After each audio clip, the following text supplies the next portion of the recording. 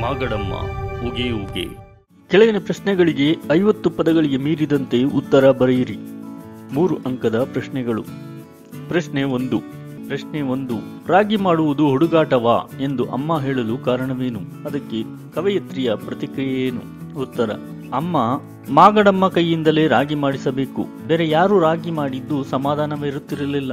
ಆಕೆ ಗೊಣಗುತ್ತಿದ್ದಳು. ಅವಳ ಗೊಣಗುವಿಕೆಗೆ ರೇಗಿದರೆ ಅವಳು ಹೀಗೆ ಗದರಿಸುತ್ತಿದ್ದಳು. ಸುಮ್ಮನಿರ್ರೆ ರಾಗಿ ಮಾಡುವುದೇನು? ಹುಟುಕಾಟವೇ ರಾಗಿ ಮಾಡುವುದೇನು ಹುಡುಗಾಟವೇ?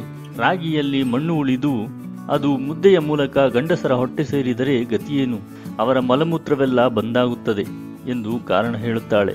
ಪ್ರತಿಯಾಗಿ ಕವಯತ್ರಿ, ಓಹೋಹೋ, ಹೆಂಗಸರ ಹೊಟ್ಟೆಗೆ ಹೋದರೆ ಗತಿ ಕೆಡುವುದಿಲ್ಲವೋ? ಬಂದೆನ್ನುವುದು ಅವರಿಗಾದರೂ ಒಂದೇ, ಅಲ್ಲವೋ? ಎಂದು ಹೇಳಿದರು.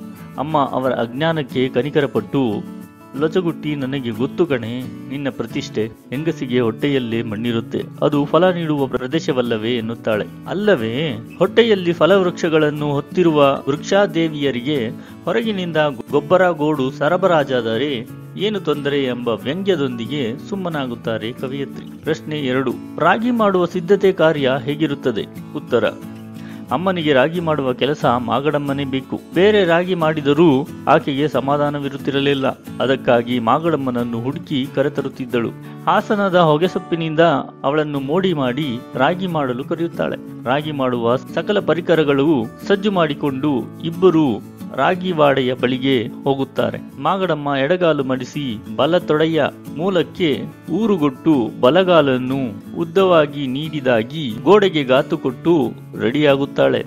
ತನ್ನ ತೋಳುಗಳನ್ನು ತಟ್ಟಿಕೊಂಡು ರಾಗಿಯಮ್ಮನ ಮೇಲೆ ಕದನಕ್ಕೆ ಸಿದ್ಧಳಾಗುತ್ತಾಳೆ. ಹೊಗೆಸೊಪ್ಪಿನ ಮೊದಲ ರಸ ಬಿದ್ದು ಒಳಗೆ ಇಳಿಯುತ್ತಿದ್ದಂತೆ ಆಕೆಯ ರಣಕದನ ಆರಂಭವಾಗುತ್ತಿತ್ತು. ಪ್ರಶ್ನೆ ಮೂರು. ರಾಗಿ ಮಾಡುವ ಮೊದಲ ಸುತ್ತು ಯಾವುದು? ಅದರಿಂದ ಏನನ್ನು ಹೇಗೆ ಬೇರ್ಪಡಿಸುತ್ತಿದ್ದಳು ಮಾಗಡಮ್ಮ? ಉತ್ತರ, ಮಾಗಡಮ್ಮ ಹೊಗೆಸಪ್ಪಿನ ರಸಬಿಂದು ಒಳ ಇಳಿಯುತ್ತಿದ್ದಂತೆ ರಾಗಿ ಮಾಡಲು ಆರಂಭಿಸುತ್ತಿದ್ದಳು. ಮೊದಲನೇ ಸುತ್ತು ಜರಡಿ ಮಾಡುವ ಸುತ್ತು. ರಾಗಿಯನ್ನು ಜರಡಿಗೆ ಸುರಿದುಕೊಂಡು ಹಗುರಾಗಿ ಹಿಡಿದು ಮೊಣಕೈಗಳ ಗುಂಡಾಗಿಸಿ ಆಡಿಸಿ ಆಡಿಸಿ ತಿರುವುತ್ತಾ ತಿರುವುತ್ತಾ ರಾಗಿಯ ನಡುಮಧ್ಯಕ್ಕೆ ಕಸಕಡ್ಡಿಗಳ ಗುಡ್ಡೆ ಬಂದು ನಿಲ್ಲುವಂತೆ ಮಾಡುತ್ತಿದ್ದಳು. ನಂತರ ಅದನ್ನು ರಾಗಿಯಿಂದ ತೆಗೆದು ಹಾಕುತ್ತಿದ್ದಳು ನಂತರ ಪ್ರತಿ ಬೇಸಿಗೆಯಲ್ಲೂ ಮೊರಕ್ಕೆ ಗಂಜು ಬಳಿದು ಮೊರವನ್ನು ಚೆನ್ನಾಗಿ ಇಟ್ಟುಕೊಂಡರೆ ಮೊರ ನಾವು ಹೇಳಿದ ಹಂಗೆ ಕೇಳುತ್ತದೆ ಎನ್ನುತ್ತಾ ಮೊರವನ್ನು ತೆಗೆದುಕೊಂಡು ಎರಡನೇ ಸುತ್ತು ಆರಂಭಿಸುವಳು.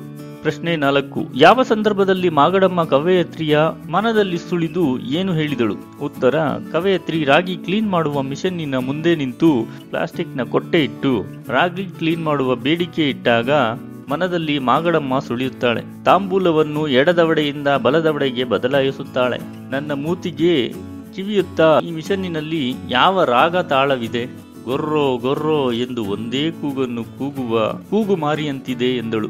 ಈ ಮಿಷನ್ನು ಕ್ಲೀನ್ ಮಾಡಿದ ರಾಗಿಯಲ್ಲಿ ಮಣ್ಣು ಇರುವುದಿಲ್ಲ ಎನ್ನುವುದಕ್ಕೆ ಗ್ಯಾರಂಟಿ ಏನು? ಹೆಂಗಸರು ಗಂಡಸರಿಬ್ಬರಿಗೂ ಯಾವಾಗಲಾದರೂ ಮಲಮೂತ್ರ ಬಂದಾಗಬಹುದು ಎನ್ನುತ್ತಿದ್ದಳು.